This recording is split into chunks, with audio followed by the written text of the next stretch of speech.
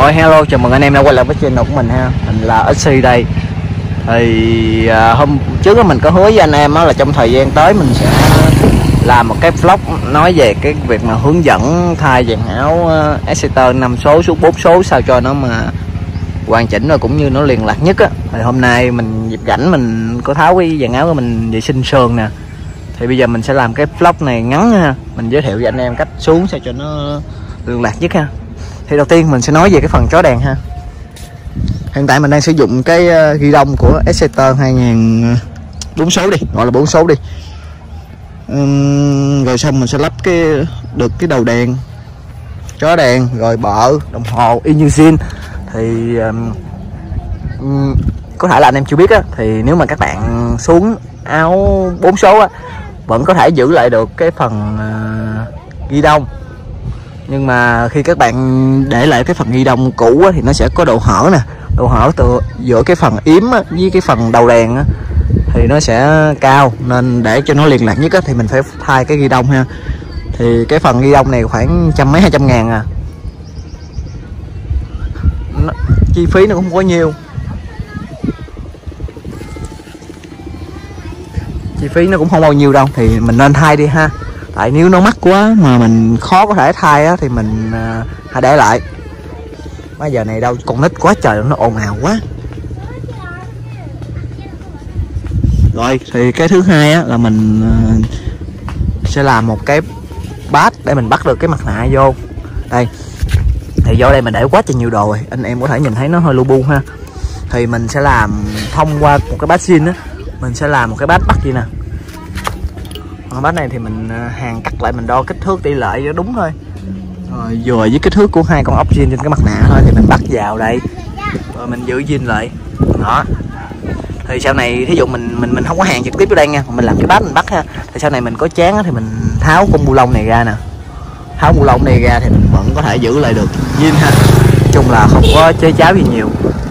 Mình quan trọng lúc đó mình gá vào, mình lấy tâm hai cái lỗ, xong mình hàng một cái, hai con bu lông vô rồi xong mình làm cái bát mình bắt vào cái bát cũ này của Exeter nè, năm số nè.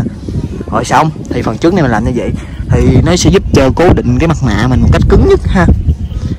Nó không có bị ờ, rung lắc khi mà rót vàng áo á, nhưng mình đã có giới thiệu với bạn từ trước đó.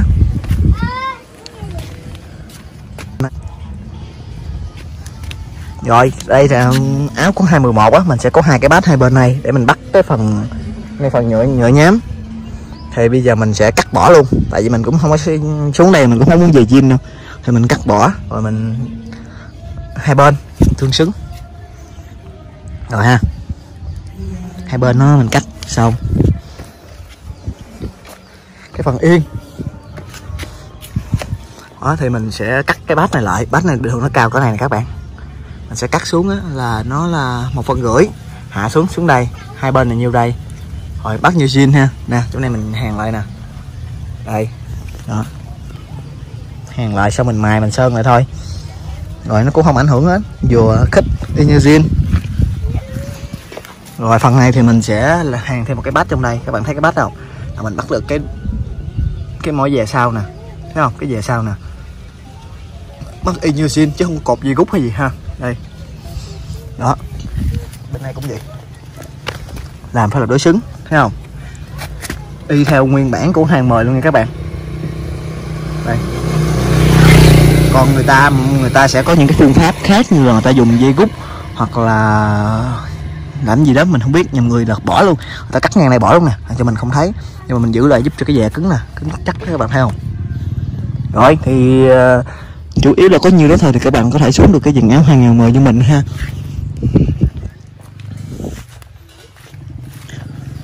Ngoài ra thì mình, để liên lạc thì mình phải ờ, chỉnh lại cái bô này, các bạn thấy không? Cái bô này mình phải dùng hai khúc bô mình nối lại lặn mà canh chỉnh rất là khó, thì cái này mình không có chỉ chi tiết được. Tại vì không phải là mình giấu nghề, nhưng mà cái cái cái vấn đề là cái lúc mà mình gá, mình lắp đặt, mình hàng á, thì nó rất là khó.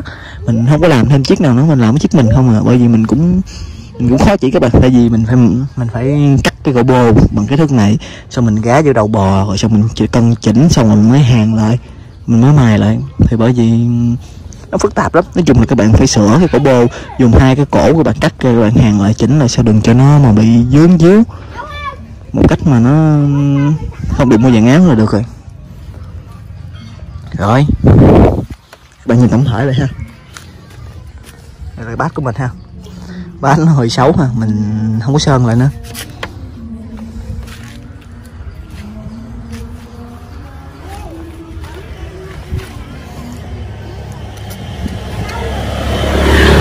À còn chỗ này nữa.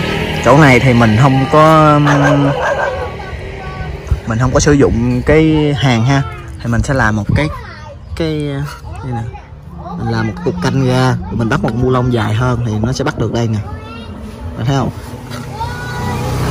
Thì nó sẽ không có bị mà gọi là sao ta? Nó không có bị ờ, uh, hàng cắt vô chiếc xe mình quá nhiều. Xấu ha. Ừ, còn bên đây thì mình ờ, lắp chỉ thôi. Mình lắp đúng vị trí ốc này thôi. Mình không có chế lại phần này ha. Rồi. Rồi lắp ngắn giới thiệu về cái việc mình lên dàn áo của mình đến đây là kết thúc rồi. Các bạn xem thấy hay đừng quên nhấn like share và bấm đăng ký kênh để ủng hộ của mình ha. Thì các bạn có thể để lại ý kiến của bạn trong phần mô tả của video ha rồi mình xin cảm ơn à. Chào tạm biệt.